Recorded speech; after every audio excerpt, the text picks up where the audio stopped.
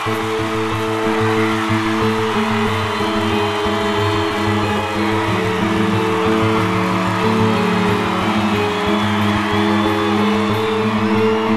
jy gebore?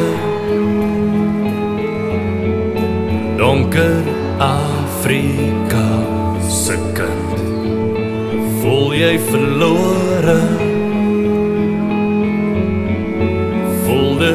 is nie eers jou skuld. Maar jy moet aanhou glo nooit ooit vergeet. So staan ons saam as jy voel jy staan alleen